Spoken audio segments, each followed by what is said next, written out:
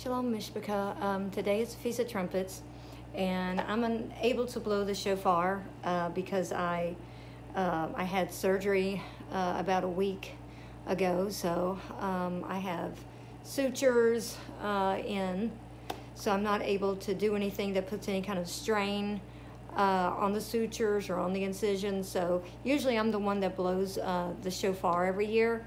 Um, my children uh, tried to do it this year and had a really hard time doing it. We do have a small shofar that has a very small mouthpiece.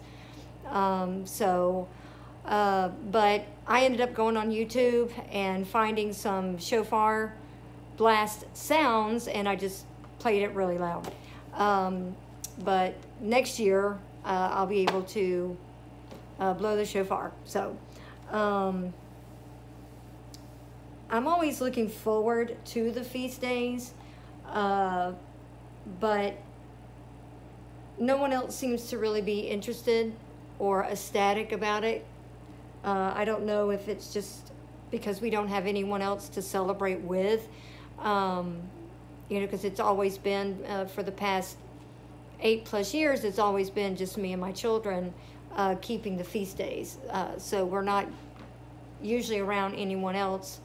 Um, so maybe if we were around uh, other Hebrew families uh, with children, uh, you know, um, their age, uh, you know, maybe they would be more motivated and more inspired.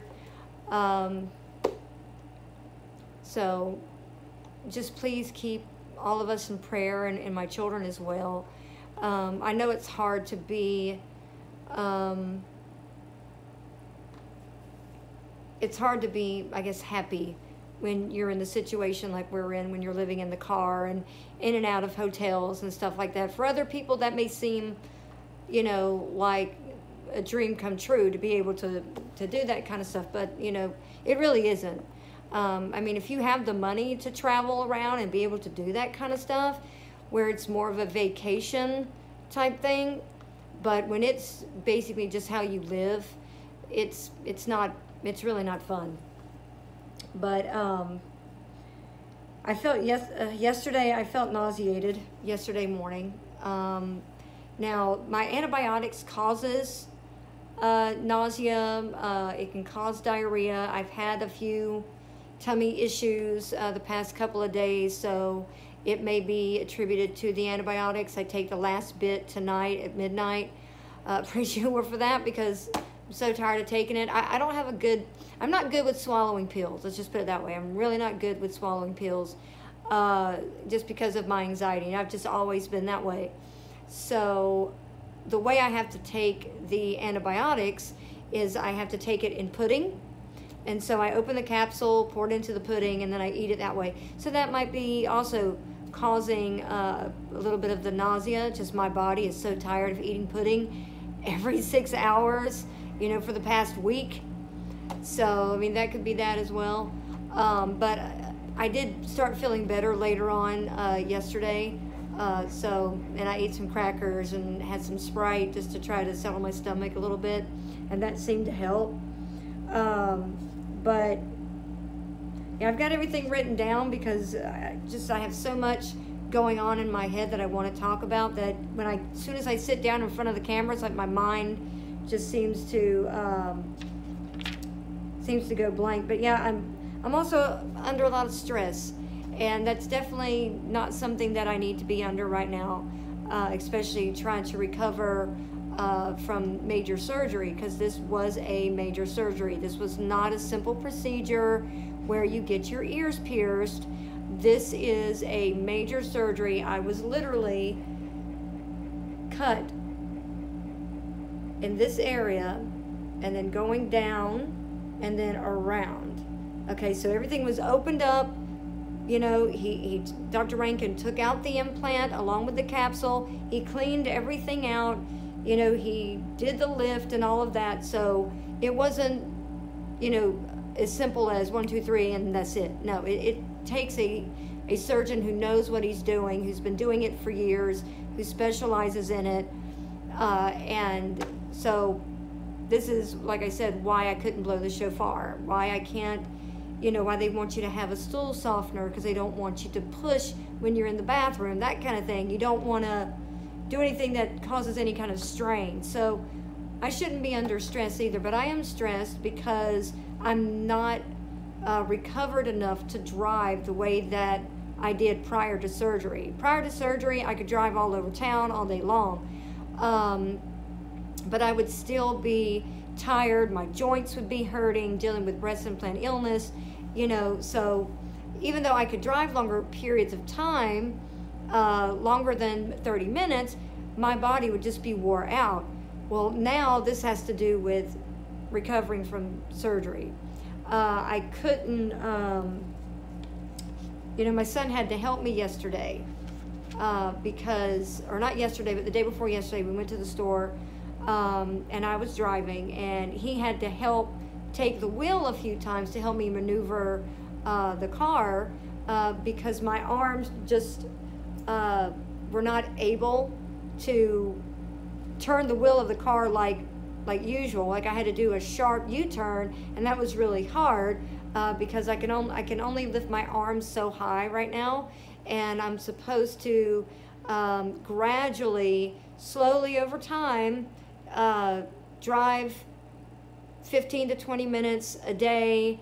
Um, you know, working myself back up to longer drive times. I'm also supposed to be taking it pretty slow on raising my arms over my head. So, like with my right arm, I can raise it about this high, and this is about as high as my left arm can go. I can't really, you know, lift my arm any higher than that. Uh, after a while, though, if I move my arms too much, my shoulders uh, hurt and, and things like that. So I have to take things slow. I still can't, um, I can't lift or carry anything that are more than five pounds. Now, at the end of this week, I still have the weight restriction. Uh, and at the end, I think either at the end of this week or the end of next week, I can't lift anything above 10 pounds. So, you know, it's going to take me a maybe two or three weeks to be able to really get behind the wheel of the car and drive the way uh, that I was before. Uh, so that is putting that stress on me. Uh, since checkout is tomorrow, where are we going to be? Where, where we're going to be staying? I'm not recovered enough to be able to drive uh, to the nearest rest area. Uh, I'm not able to to do that. So uh, if we have to check out tomorrow and if we're not in the hotel uh, for another night or for a few nights or whatever, then we're just going to sit in the parking lot if they'll let us because I, I can't really drive right now. Um, now for one or no for three nights uh, in the hotel that we're in, which is the Holiday Inn Express uh, on 45th Street uh, Metro Center, uh, for a week is about $643, and that uh, plus tax might be about 648 I think. Um, that's for a week. For three days is about $261 plus tax. I'm thinking that's uh, 267 and that gets us three nights here. Um, but so we just need a lot of help and I'm stressing about that just because, you know, I can't drive yet. And I still have a lot of, you know, recovering to do. So I feel like I feel a little rushed uh, and it's just stressing me out. Um, also, yesterday we changed uh, the paper tape uh, that's on my incisions.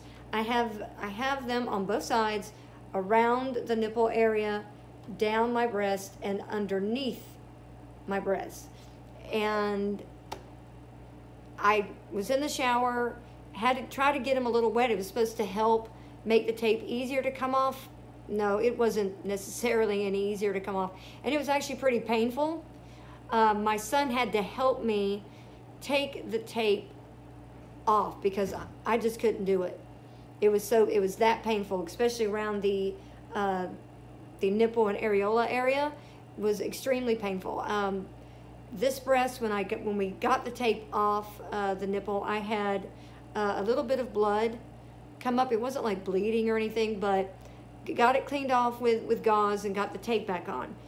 Okay, so we get over to the uh, to the right side nipple area, and that had a little bit more blood. Now, again, it wasn't gushing blood. It wasn't like, oh my gosh, it's bleeding, but it was still a little bit more blood than this side.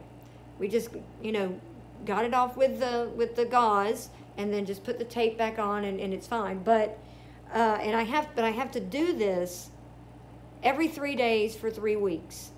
So that's causing me a little bit of stress as well because not only is it painful uh, to do that, but also thinking if we're not in the hotel and we're back in the car having to do that. You know, that, so I'm just stressed out all over the place with that. Um, oh yeah, uh, I also um, almost passed out yesterday. Uh, I was in the bathroom and we were getting ready to uh, check all the tape. And we were going to start with the where the drains were, which are over here on, on the side. I don't have the drains anymore, but um, takes about three to five days, maybe seven, for the uh, drainage wound to heal. And they're, they're almost healed. I'd say maybe, you know, three or four more days and it'll be closed on both sides. Um, but we were checking those. And so we got the tape off of this and the gauze, and it was fine. It wasn't you know, didn't look bad or anything. We put the gauze and the tape back on over here. So we started on to the right side. As I was getting the tape uh, off of um, this tape right here, when I was getting this tape, and as you can see, it's this little brown thin tape right here, okay?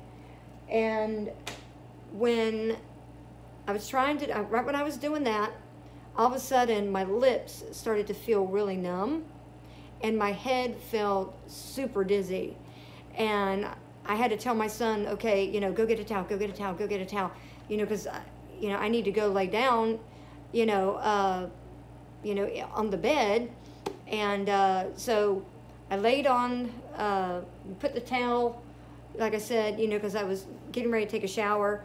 And uh, so laid on I laid on the bed. I had to be in a prop position. I can't lay flat on my back yet, not until uh, Friday. Uh, so I'm laying in an incline position, propped up on pillows. Um, I started to feel better uh, within a few minutes, um, but my hands felt like this. They were just, they felt really shaky um, and everything. If I hadn't laid down, I probably would have hit the floor. So um, I don't know what that was about. I don't know if, because see, I have anxiety, so I don't, I don't know if that was anxiety. I don't know if I just was having uh, a little bit of a panic attack because it wasn't these, it wasn't the, you know, the changing of the strips on the side that was bothering me. It was, I guess I was freaking out of, okay, I see how this is and, and that's okay. It hurts a little bit, but, you know, I can get through this. But then think about that same this same tape right here, this same tape is on my nipple area, going down my breast and underneath it. And it's on, you know, it's on the incisions. And when they were coming off of the nipple area, it is peeling scab. Okay, it's peeling scab. And of course, that's what caused the bleeding around the areola. And is why it hurt so bad. And, and I have to do that every three days for three weeks.